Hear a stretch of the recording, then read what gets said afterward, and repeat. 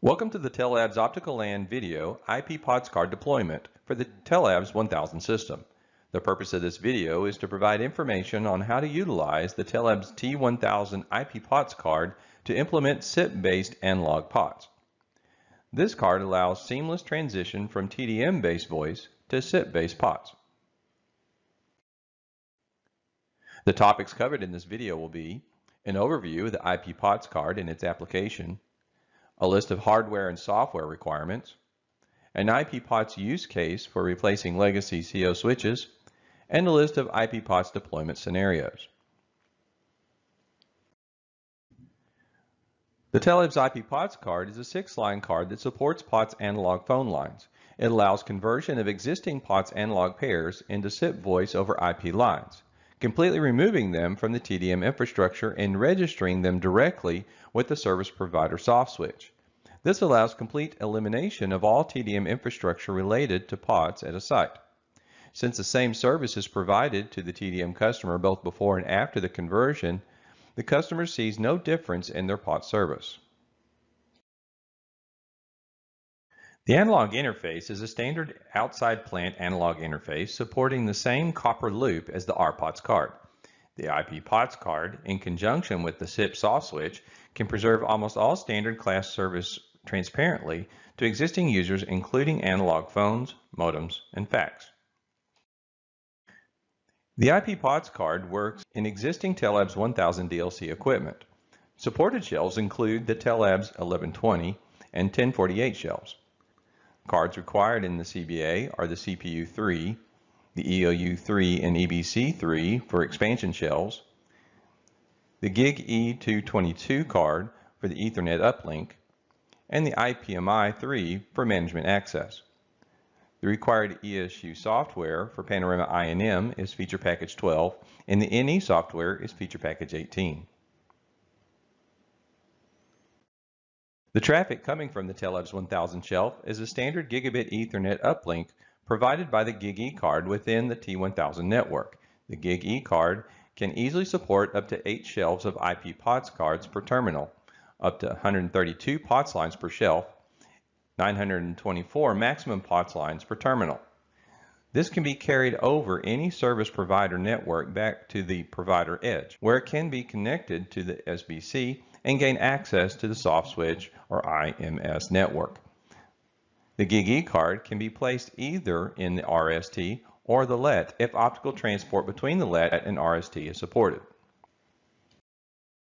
The standard analog switch that still exists in many rural areas is reaching end of life. By using the IP POTS card, the Tellabs 1000 can be used as part of a process to replace an existing Class 5 switch and completely retire it from the network.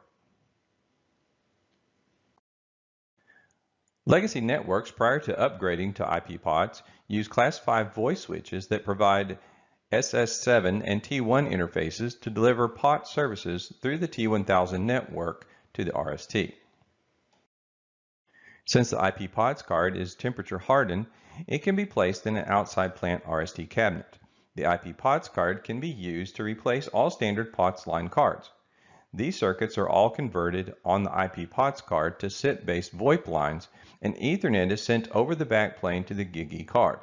The GigE card transports these VoIP circuits to whatever device is the ingress into the Ethernet transport network, typically an edge router or BNG.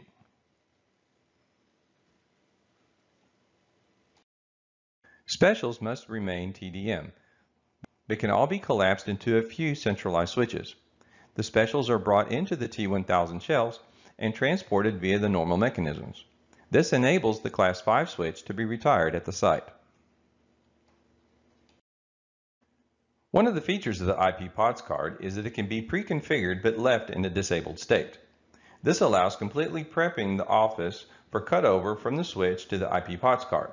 The IP POTS card can then replace the TDM POTS cards and service will update and cut over to the SIP without any other manual intervention. This enables a flash cut with a very brief outage on a card-by-card -card basis as the card is replaced. If there's an existing RST and it has spare dark fiber, then the RST can add a GigE card to the system in one of the shelves. Then it can bring out the IP POTS VoIP traffic directly into the VoIP network. This is the simplest and most straightforward approach if the fiber is available. OC3 and OC12 legacy ATM transport can be used if there's not enough dark fiber to directly connect the voice line via GigE to the RST.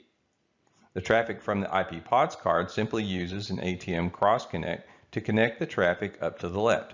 From the LET, it is cross-connected into a GigE card and sent into the VoIP network. This can also have a significant cost savings in the overall cost of deployment at the expense of additional delay. If there are existing services that are served out of the CO directly, these can also be moved over to IP POTS-based services. In this use case, the GigE is simply placed into one of the CO-based shelves and then traffic from the IP POTS card is terminated via cross-connect into a GigE card. The traffic from the IP POTS is then sent from the GigE into the VoIP network to the soft switch.